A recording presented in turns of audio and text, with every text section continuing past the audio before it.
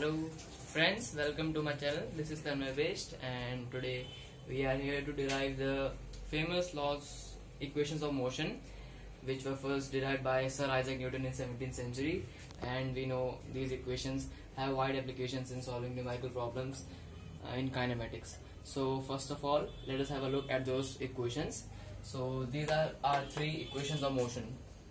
In these equations, v is your final velocity, u is initial velocity, a is your acceleration, t is your time, and s is total distance traveled. So our first equation of motion is v is equal to u plus at.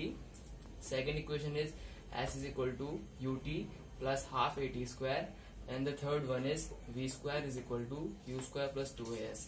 Now we are going to derive these equations one by one. So first of all, let us derive the first equation which is v is equal to u plus at.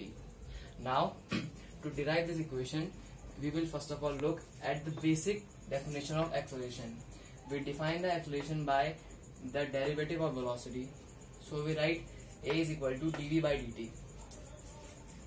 In the other form we can write it as dv is equal to a dt means this dt goes there. Now integrating this equation on both sides we get integral of dv is equal to integral a dot dt. Now integral of dv is v. And since a is a constant in all these equations a is taken to be a constant. So acceleration comes out of the integral and dt integral gives you t. And plus c is the constant of integration. Now we see at t is equal to 0 v is equal to u because it is initial velocity. And so putting t is equal to 0 in this equation we get u is equal to a0 plus c or u is equal to c means at t is equal to 0 u is equal to c. So putting this u in place of c in the equation we get v is equal to u plus at so in this way our first equation is derived. Now our task is to derive the second equation which is s is equal to ut plus half at square. To derive the second equation we write the uh, basic function of velocity which is v is equal to dx by dt where x is the position of a particle. Now this can be written as dx is equal to v dot dt in the same way as we have written dv is equal to a dot dt.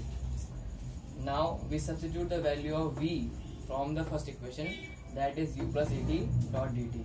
Now integrating both sides we get integral dot dx is equal to integral u plus at dot dt. Integral of dx gives you x and this integral gives you u plus dt plus uh, at dot dt. Now u is a constant comes out of the integral and in this case a is the constant and comes out of the integral. This gives you ut and this gives you t square by 2 plus constant is there and similarly here c is x0 as it was u in the first equation now putting x c is equal to x0 in this equation we get x is equal to ut plus half at square plus x0 taking this x0 to the left hand side we get x minus x0 is equal to ut plus half at square. Now this x minus x0 is the change in position of the particle. Change in position refers to the displacement. So displacement is equal to ut plus half at square and this, in this way the second equation is also derived. Now to derive the third equation we will simply substitute the first equation in the third one. So from the first equation we have t is equal to v minus u upon a and from the second one we have s is equal to ut plus half at square. Now substituting the value of t from the first equation in the second we get s is equal to u v minus u by a plus half a v minus u by a is whole square. Now simplifying this we get s is equal to 2u v minus u plus v minus u whole square over 2a on further on further simplification we get 2as is equal to v square minus u square or v square is equal to u square plus 2s and in this way third equation is also derived.